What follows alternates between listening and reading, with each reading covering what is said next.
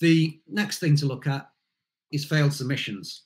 So essentially, this is someone going through the form, entering all the data, then clicking the submit button, but not successfully completing. Something's happened. And now this is always very important because these are kind of your low hanging fruit. These are people who spent time and energy entering data, entering information into your form or checkout. They want to give you their money, they want to give you their details, but they can't because there's a problem with your form and checkout.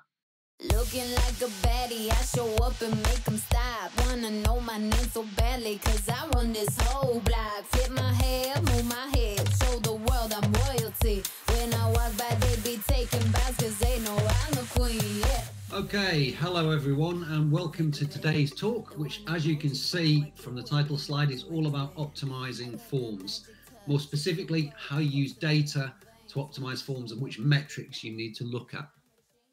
But before I start in earnest, I'd just like to ask a quick question on anyone there. So I know you can't see me, but if you're out there, uh, could you please put your hand up if you enjoy filling out forms?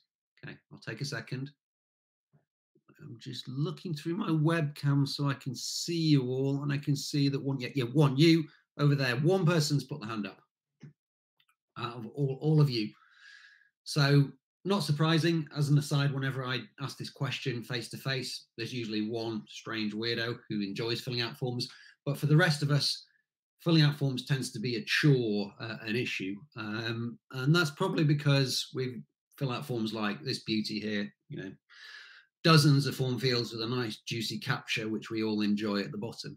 Or perhaps a form like this, which has a drop down menu with 30 to 40 options for your title. I mean, who's going to go through there unless you're a, wing commander and really proud of it? No one bothers with that. It's just a pain. So we can look at the forms I've just looked at and say, okay, they're, they're useless. They're, they're, they're bad forms, but obviously that's still subjective. So how do we know uh, if a form is bad and what's bad about it? And of course, the answer to that is through data, uh, specifically form analytics data where you can analyze uh, individual form elements like form questions, form fields, form buttons, uh, get into the weeds and really understand uh, what the issues are. Uh, and that's what I'm going to be talking about today is which metrics are the ones we want to look at, what's important, how do we analyze them to find out where our problem fields are. But you may be thinking at this moment in time, you know, oh, why listen to this guy? Um, well, I'm MD of Zuko Analytics. We're a form analytics platform. We've been going for 10 years or so. So we've been optimizing forms using data for 10, 10 or more years. And, uh, you know, we've seen pretty much every issue you can see on a form, uh, but we've also quantified that using data.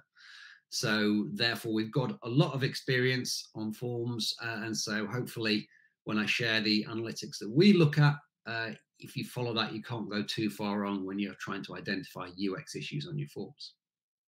So first up, uh, I'll be looking at the basics. So the building blocks, which are the simple, easy metrics that get you started and, and point you in the right direction where you uh, to look at, uh, at, your form fields. And there's sort of four of those, which I'll, I'll take you through. The first one of those is based around abandonment. And what I mean here is, okay, what is the last thing that the user interacted with on your form before jumping away and leaving and never coming back. Now, when you look at abandonment, there's probably two things you need to look at. First is sheer volume, so uh, abandonment count. So if we look on this this table here, we've got uh, you know it's dummy data, but you've got field A, B, C, D, and then you've got across here you have abandonment count. So that's what you'd look at in terms of sheer volume. So if you were just to look at that here, uh, you can see that field A has 600. Uh, and obviously, the, the, the, reason you look at the highest volume is because that's the biggest potential for improvement. The bigger improvement you get on it, the bigger the return on investment you will have because you'll reduce your total abandonments by uh, a large amount. Now, having said that, it's not the be all and end all. It's also very important to look at the abandonment rate as well. And the abandonment rate is essentially the percentage of people who interact with a particular field who abandon on it. Um, now, why is that important?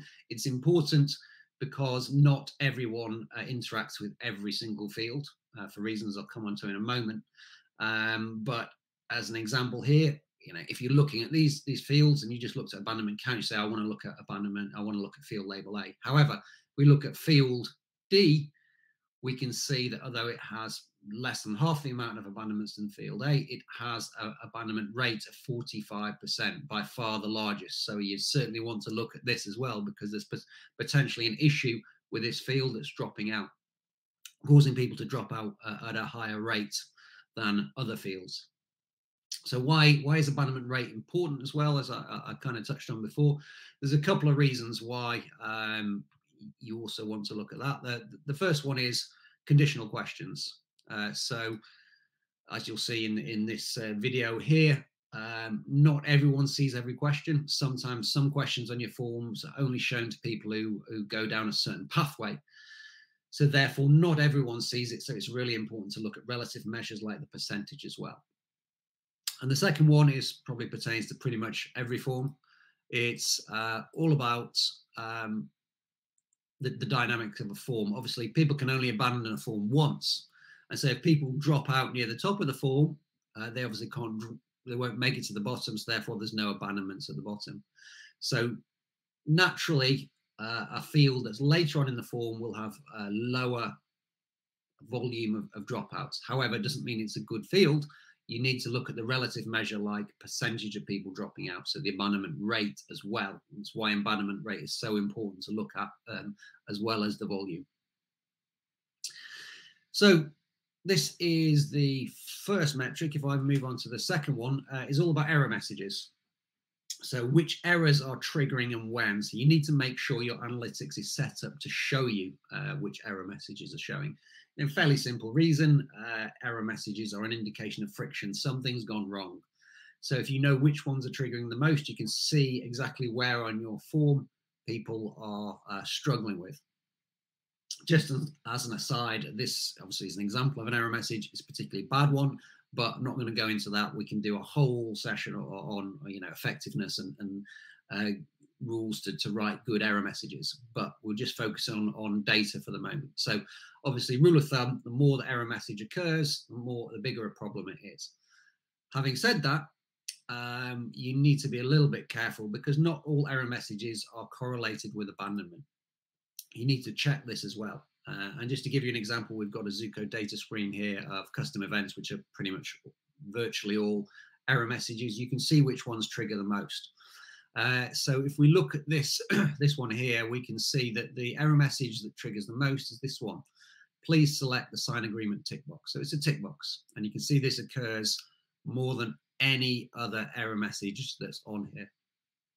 However, if we then segment this and look at abandoned sessions only, which is the orange bar only, we can see that actually there's other error messages that are more important than two ones related to card number. So you can see that actually it's the card number error messages that are more important because they're the ones related to abandonment. Whereas a tick box is relatively simple. People often miss it, get an error message, just go back and tick the box. So it's less of an issue. So always make sure you're checking this as well when you're looking at your error message data. The uh, next one I'd like to, to talk about essentially is field returns or corrections. Now, what I mean here is when someone enters information into a field, moves on, comes back later to make a change. Now, generally driven by an error message, but not always uh, as well. And so the rule of thumb here is obviously that the higher the level of field returns, the more problematic a field uh, uh, question is. Although, again, when I come into a more advanced analytics, I'd want you to look at that and, and, and also do additional segmentation to be to be truly clear. This is Rommil Santiago from Experiment Nation. Every week, we share interviews with and conference sessions by our favorite conversion rate optimizers from around the world. So if you like this video, smash that like button and consider subscribing. It helps us a bunch. Now back to the episode. And then the final uh, metric to look at is time spent. So how long are people spending answering each particular question? And again, as a starting point, your rule of thumb is the longer people are taking, the more problematic a particular field is. However, you do need to be careful. Uh, I had a very simple example. Um, we have here uh, an application form with two questions. First question is a my simple name question. The second question is a 1,000 word essay question.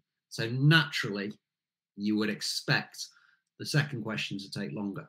So you can't necessarily read into the fact that the, the a fit on average a field takes longer to complete uh, as being uh, a super point of friction. Having said that, I'm going to come on to more advanced techniques which allow you to break that out and work out uh, what's important. And having said that, we will move on to those now. So we're going to look at the more advanced level techniques. so three things to take you through here. The first one is about segmenting, uh, segmenting your data by audience. Very specifically, I'm talking about segmenting your data between those who complete your form and those who abandon the form at some point, because it's this difference in behavior which will often give you the biggest insights and the insights that are related to people dropping out, which allows you to create the hypotheses to test and improve your form.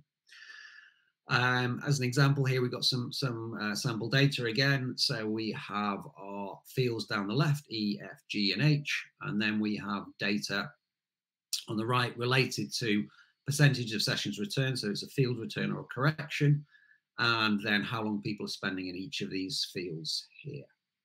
Now, if we were just to look at this as a, an average without segmentation, you'd probably see uh, field E as the biggest issue because what you'd be looking at is you'd say, okay, it's about a 55% uh, return rate. So this is the biggest issue. We need to look at that. However, when you segment that data out between abandoners and, compl and completers, the picture changes. And so what I would look at there is instead look at field G because what I can see for field G is that in 25% of sessions where people abandon, they have to come back to make a correction. Whereas for successful completions, that figure is only 17%. So there's an 8% difference there, which is a big difference. And it's these differences you're looking at because what it's telling you is that actually abandoners come back to field G at a much higher rate than those who complete. And this is related to abandonment. So it allows you to home in and where your potential issues are. And you'll also see a similar pattern if we just look at time spent. So we can see here that people who complete field G but ultimately abandon it uh, uh, spending 16 seconds on it, whereas about 10 seconds for completers. So again, big difference. It's a big key indicator that you'd probably want to look at this form, where there's a big difference between abandoners and completers, and the percentage you return are much higher when they abandon. So this allows you to home in on where your potential issues are and start to develop hypotheses. The next thing to look at is failed submissions. So essentially, this is someone going through the form, entering all the data, Mm. then clicking the submit button, but not successfully completing. Something's happened. And now this is always very important because these are kind of your low hanging fruit. These are people who've spent time and energy entering data, entering information into your form or checkout, they want to give you their money, they want to give you their details, but they can't because there's a problem with your form and checkout. So you're losing free money. Money's been taken off the table. So always look at, uh, around failed submissions to see what's going on there. So how do you do that? Well, essentially what you need to do is look at your analytics and kind of see the behavior flows from the submit button. So I'll show you an example here. This is a behavior flow data um, chart. And what it shows is kind of what happens after the submit button. Now, it's important to segment the data as always. Uh, in this case, and, and generally what we do is we will segment it to only look at abandoners, people who don't complete the form, because that's where you get, the information that's related to the insights that you need. So what's happening here, we can see uh, that people, you know, on the left-hand side, it's showing that these abandoners are clicking the submit button. What do they do afterwards? On the right hand side, we can see that 42% of them drop out straight away. Probably see a sea of red, load of error messages go, oh no, I'm done, and drop straight out of there. But the really useful information comes uh, below that. So what you can see is what uh, the what people are doing. So what we can see here is that the set password field and the phone number field are the second biggest, second and third biggest ones. So these are big groups of people who are clicking submit they're then jumping back to password or phone number, trying to fix it, but then they're subsequently abandoning. So again, this shows you, okay, this is where people are struggling. They're going back to password, they're going back to phone number, they're trying to fix it, they're failing, then they're dropping out. So this is probably my favorite uh, form of analysis on forms. It very quickly gets you to where your biggest issues are, where people are struggling.